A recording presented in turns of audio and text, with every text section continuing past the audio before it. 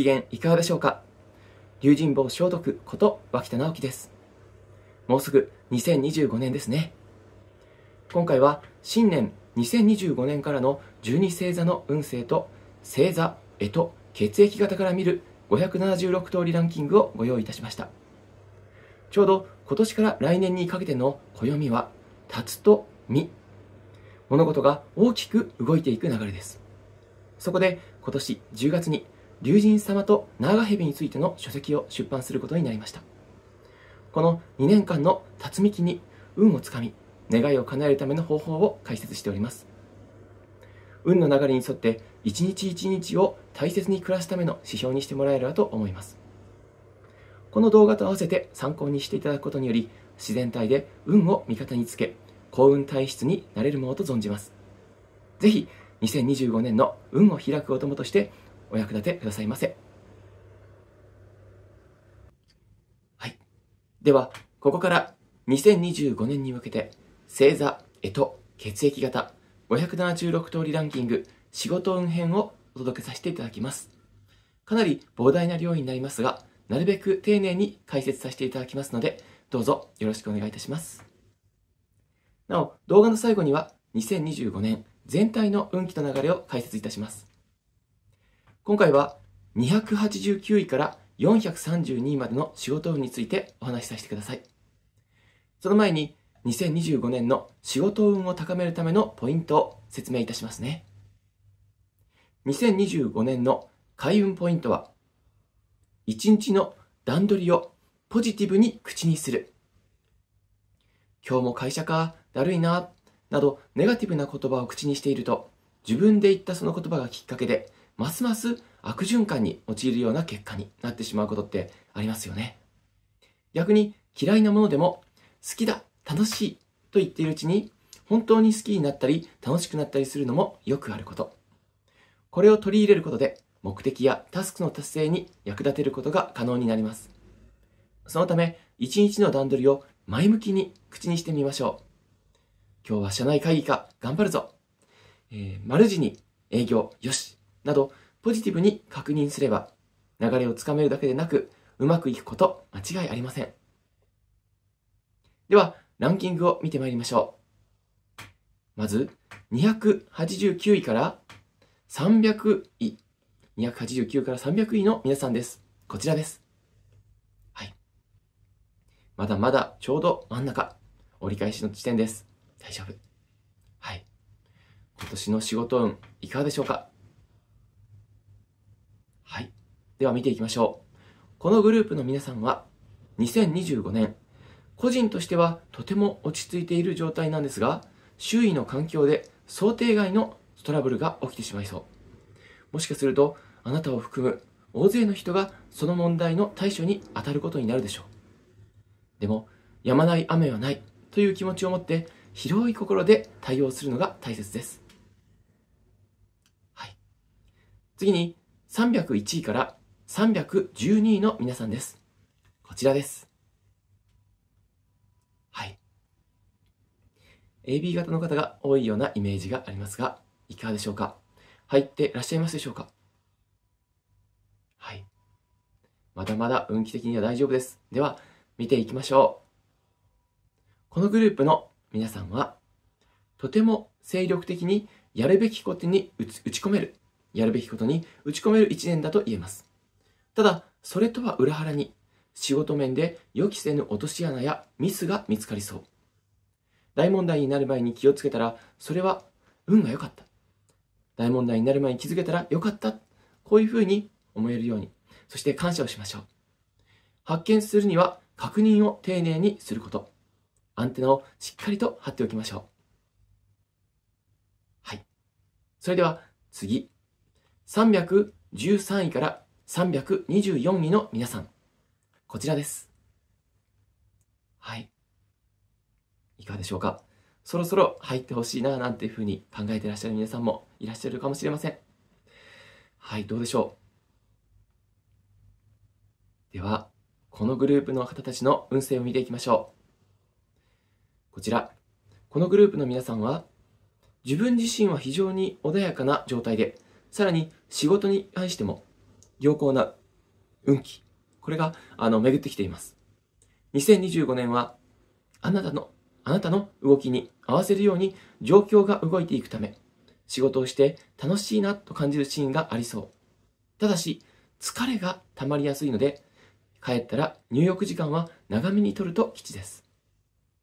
はい、それでは、次のグループ行きましょう。325位から336位の皆さんです。こちらになります。はい。いかがでしょうか？そろそろですね、えっ、ー、と、運気的にちょっと厳しくなってくるかな。でも、そのために対策を立てておけば大丈夫です。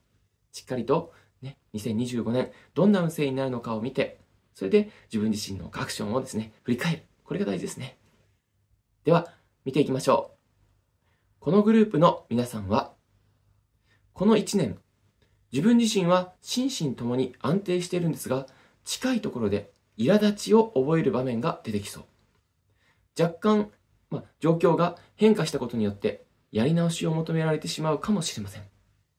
少しの手間ではありますが、心を乱さず、淡々と取り組んでください。後で借りは返してもらいます。はい。では、337位から348位の皆さんの見ていきましょう。どうぞ。はい。えー、ポイントとしてはやはり何か問題が起こる。その前に自分自身がどういった状況なのか、これをしっかり押さえて、来年に、2025年に生かすことだと言えます。では、見ていきましょう。このグループの皆さんは、周囲が慌ただしくなりそうな予感です。それに巻き込まれる形で、あなたも自分の仕事だけに集中はできなくなるかもしれません。そんな時は誰かが冷静にならなくてはいけないですね。問題を深刻に考えすぎずに、どうすれば痛みなく解決できるか、アイディアを自分から提案してみましょう。はい。それでは、次のグループ。349位から360位の皆さんです。こちらになります。どうぞ。はい。いかがでしょうか。ね、まだまだでも、あの、厳しい運気というふうにはまだいきません。えー、少し気をつけておけば、いくらでも仕事運は回避できます。良くないことは。それに、良い運気を引きつかむ、掴んで自分のところに持ってくることも可能です。見ていきましょう。このグループは、2025年はメンタル的には非常に安定しているんですが、職場で予定していた物事のいくつかが大きく変更されそうです。今後、どのような動きになるのかについて不安を覚えてしまうかもしれません。しかし、そこは、案ずるが有むより安し。取り組む勇気を忘れずに過ごしてください。はい。では、次のグループ見ていきましょう。361位から372位の皆さんです。こちらです。はい。いかがでしょうか？ね。まだ入ってないよという方はですね、はい。これからきっと、あの、ランキング入ってくると思います。で、あの、良い悪い、これはあまり気にすることではなくて、大事なことは、どんな風に2025年を過ごすかということでございます。はい。では、見ていきましょう。このグループの皆さんは、2025年は体力的にはエネルギッシュな状態ですが、職場の環境に若干の不安定さが漂いそうです。今後の仕事の予定が保留になったり、あるいは白紙に戻ったりすることがありそうな予感が。まだ訪れていない将来を不安に思うよりも、目の前にある仕事を片付けてみると気持ちも楽になります。はい、では、次のグループ見ていきましょう。373位から384位の皆さんです。こちらになります。はい。AB 型と B 型の方が多いのが特徴的ですね。はい。特に AB、B の方、見てみてください。どうでしょうか？はい。入っていらっしゃいますでしょうか？それでは、このグループの皆さんの運勢を見ていきます。このグループは、あまり仕事を丁寧にやろうとすると、時間と労力が多くかかってしまいます。2025年、あなたに任せられる仕事、任される仕事、こちらに求められるものは大事なツボをしっかりと抑えるということです。難しいタスクではないので、すぐに終わらせることができるはず。粒顔なんかを噛んでですね、思考をリフレッシュしましょう。はい。では、次のグループ。385位から396位です。こちらです。はい。いよいよ次から400番台です。でも、まだまだ300番台ですので、はい。いかようにも挽回できる。そのように思います。どうでしょう？入ってらっしゃいますでしょうか？では、中を見ていきましょう。このグループの皆さんは、2025年はこまめな休息が必要な時。体が資本。ね、やはり何事も体が資本だと忘れないでください。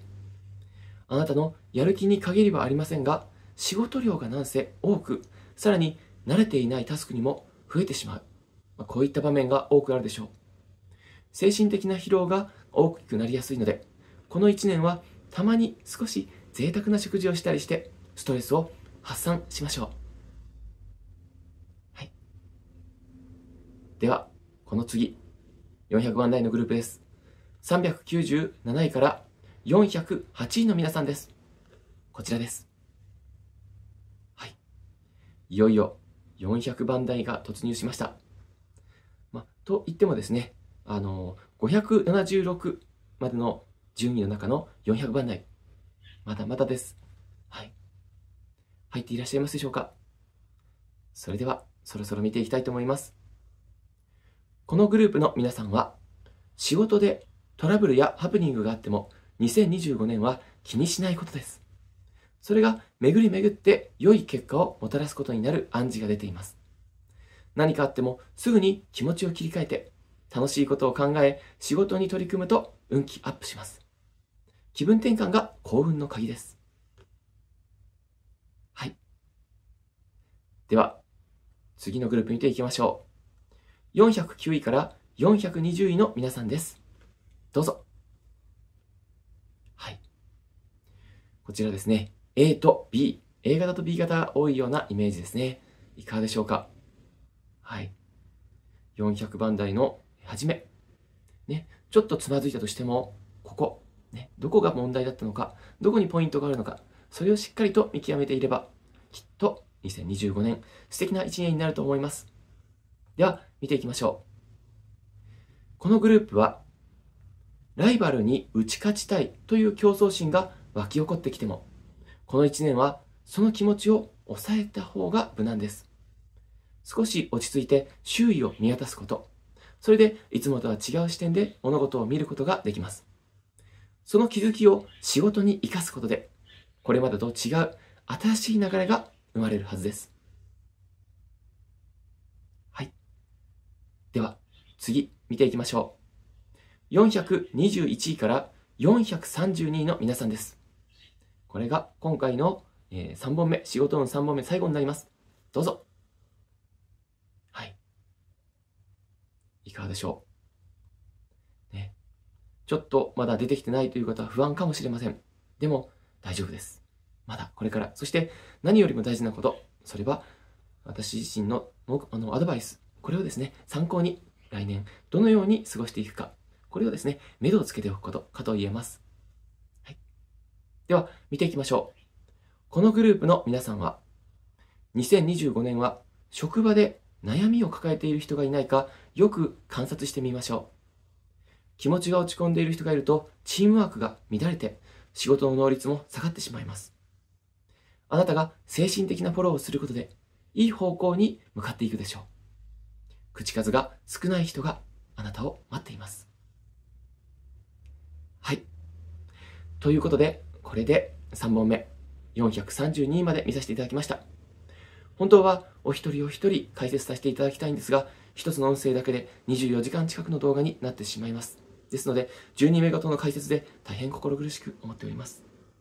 はい、次回は、星座、干支、血液型、576通りランキング、仕事運、433位から576位までをお送りいたします。はい。それでは最後に2025年全体の星回りと暦から運勢を見ていきましょう。まずは2025年1月。1月は暦が日の絵の根。天体で見ると1月19日に金星と土星が接近。愛の星金星がハードな角度をとり、衝撃的な恋愛模様になりそうな予感です。意外な関係から恋が始まるなんてことも。これから少しずつイメージや直感、スピリチュアルなものにスポットライトが当たりそう。そして2月は暦が日のとの牛。月と金星、海洋星が接近し、ラッキーな配置を作ります。目に見えないものを形にできるとき、アイデアを実際に動かすといいでしょう。また、2月の4日には、幸運の星、木星が双子座で巡行に入ります。コミュニケーションがパワーアップ。伝えたい気持ちを後押ししてくれます。告白やデートなんかにもおすすめですね。そして、3月は、暦が土の絵虎。2日に水星と海洋星が接近。アクションを起こしたいという気持ちはあるものの、なかなか一歩が踏み出せない。そんなもどかしい状態になりそう。しかし、イメージを形にすることで、仕事も恋愛もうまくいきやすい時期なので、ポジティブ、ポジティブを心がけて。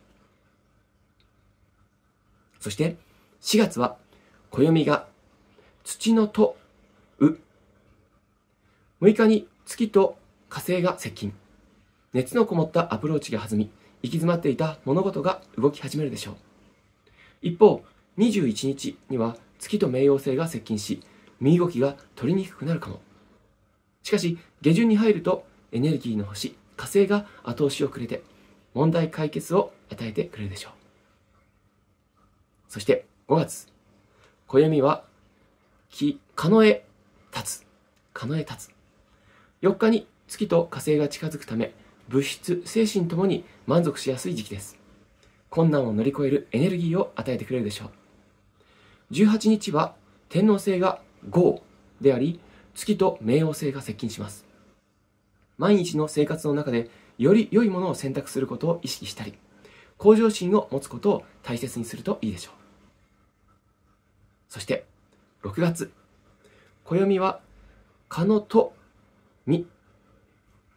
1日に金星が西の方角で最大理覚。そして月と火星が接近します。これからは幅広いものへの好奇心と感性を持つことが開運の秘訣です。そして幸運の星木星が3日に双子座から蟹座へ移行。3日から4日にかけてですね。ここから蟹座さんは12年に一度の拡大の時です。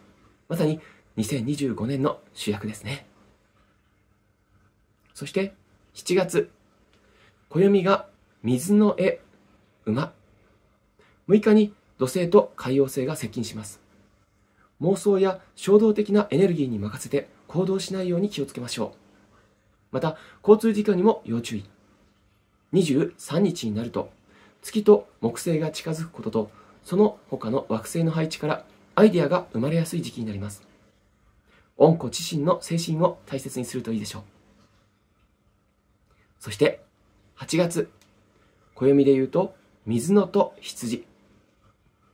11日に水星の逆行が終わり、計画通りに物事が進行するようになりそう。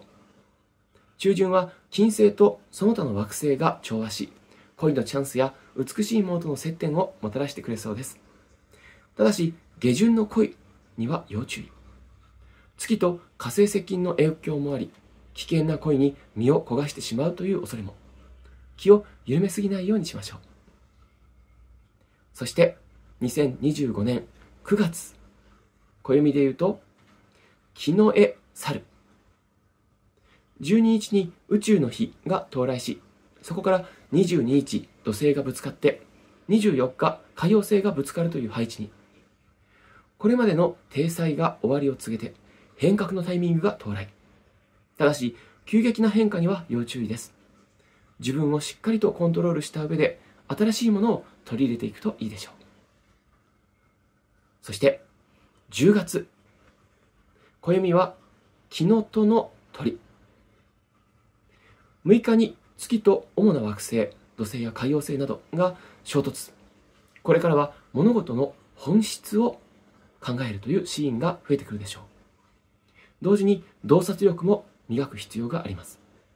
また30日には水星が最大理学冥王星の影響も収まってくるので引き立て運や仕事のチャンスに恵まれそうです。そして11月。暦で言うと日の絵の犬。2日に月と土星が刺激的な配置になり恋愛に障害が発生する可能性が。合わせて5日スーパームーンの満月。そして10日に水星の逆行になるので言葉の行き違い誤解こういったものが生まれるかもしれません。中旬に入って12日に木星逆行になる時期は気をつけて。